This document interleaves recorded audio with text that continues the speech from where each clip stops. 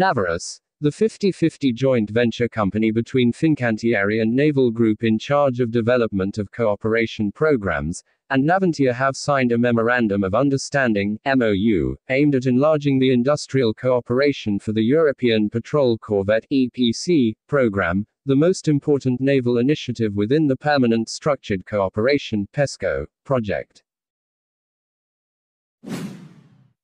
The EPC will be a smart, innovative, affordable, sustainable, interoperable and flexible vessel to meet the future missions in the evolved world context of mid-21st century.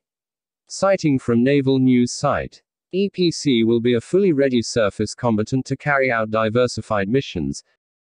primarily aimed at enhancing maritime situational awareness, surface superiority and power projection, particularly in the context of governmental peacetime actions, such as those aimed at counteracting piracy and smuggling, as well as those actions dedicated to humanitarian assistance, migration control, and aimed at ensuring freedom of navigation.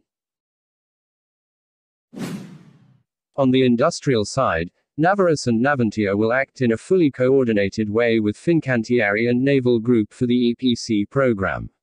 The studies could potentially benefit from European Union and national funds and will include a large part of R&D leading to innovative solutions for making easier the co-development and interoperability, the efficiency of the vessels in operations and the digital data management.